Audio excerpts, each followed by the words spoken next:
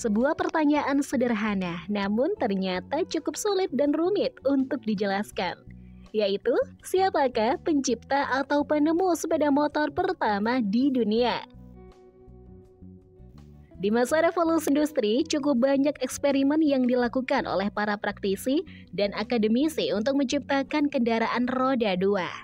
Banyak sekali eksperimen yang dilakukan dan penemuan yang dipublikasikan seperti motor bertenaga uap, pembakaran internal, motor listrik, dan berbagai jenis teknologi baru.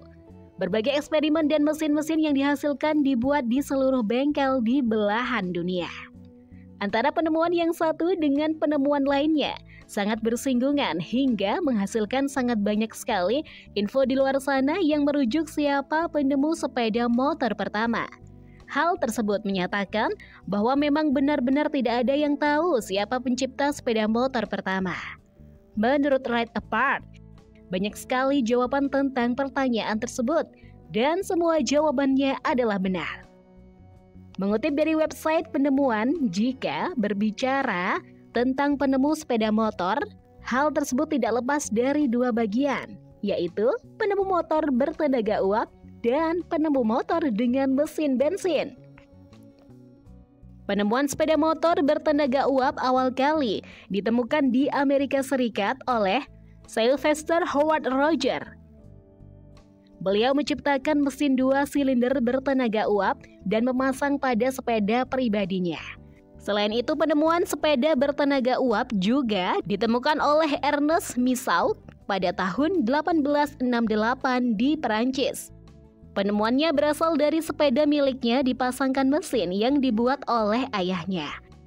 Dikutip dari laman federaloil.com pada tahun 1885, Gottlieb Daimler, pria asal Jerman dikatakan sebagai penemu sepeda motor bertenaga bensin pertama. Daimler berhasil menemukan dikarenakan pada masa sebelumnya ia bekerja di perusahaan milik Nikolaus Otto, seorang pemilik dan penemu mesin dengan sistem empat langkah atau empat tak. Berkembangnya industri pada saat itu memang dikenal sangat pesat atau dikenal dengan istilah revolusi industri. Beberapa negara seperti Perancis, Inggris, dan Amerika Serikat lebih berfokus untuk mengembangkan transportasi yang praktis.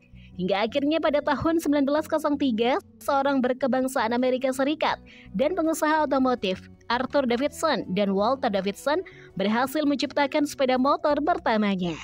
Penemuan dari Arthur Davidson dan Walter Davidson merupakan merek sepeda motor tertua dan tersukses dalam sejarah yang dikenal hingga saat ini dengan nama Harley Davidson.